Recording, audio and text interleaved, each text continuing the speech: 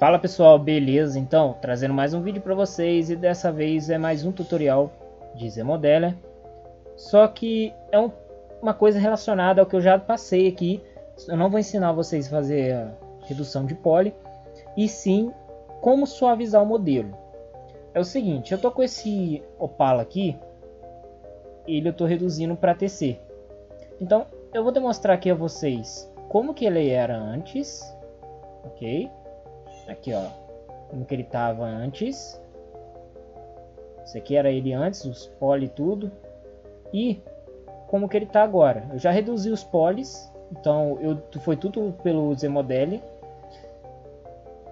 Ainda vou reduzir mais um pouquinho, só que não vou precisar mostrar vocês, porque eu já mostrei. Que é basicamente aquilo.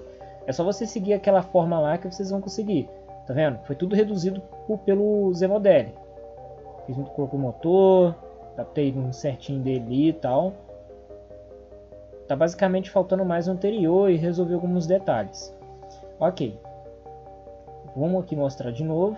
Olha a diferença. Já deu uma baita diferença, vocês podem perceber. Deu uma baita diferença. Então, eu vou demonstrar a vocês como, como fazer, corrigir essas falhas aqui, ó. Tá vendo que tá quadradão? Aqui, ó. Tem algumas partes aqui que vocês não vai dar para ver por causa do vídeo, mas tem umas falhinhas tipo cortando por causa dos poli que eu cortei. Ele vai ficar com mais falha. Vocês resolverem isso é bem simples. Vocês vão vir em Surface depois que reduziu, né? Eu recomendo fazer por parte, por exemplo. Ah, é dividir o chassi.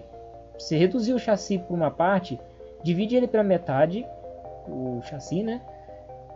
E depois aplica isso e aplica na outra metade. Vezes eu recomendo você fazer é, dividir ele, deletar outra parte, fazer só em uma parte, depois recria em outra parte. Foi o que eu fiz com esse carro aqui. Eu deletei a metade dele, fiz tudo o que tinha que fazer em uma parte, depois recriei a parte. Super simples. Eu vou estar tá trazendo um vídeo aí futuro mostrando como faz isso aí, ok? Então, sem mais delongas, vamos lá, que interessa.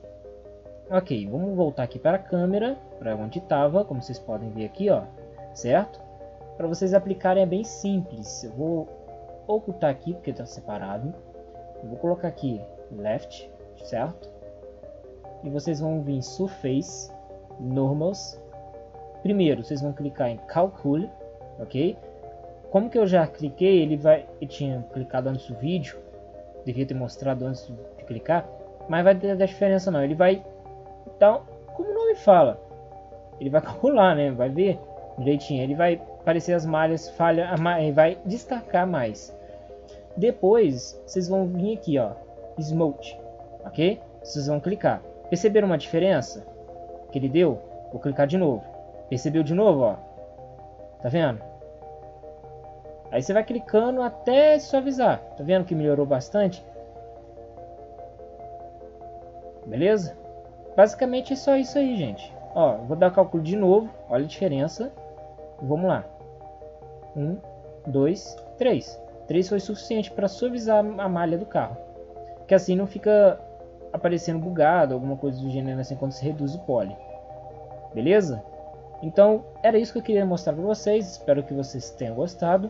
Pode ajudar vocês aí a reduzir os carros, os poly de carro, que facilita muito é uma ferramenta não é como umas outras aí, né, como 3DS e tal, mas dá pra já fazer algumas coisinhas, né? quebra um galho legal, cara. Então, para quem não, não quer aprender, que eu recomendo aprender em outro programa, mas quer ficar só em um, como eu faço, porque eu particularmente fico só no Zmodel, não curto ficar vários programas.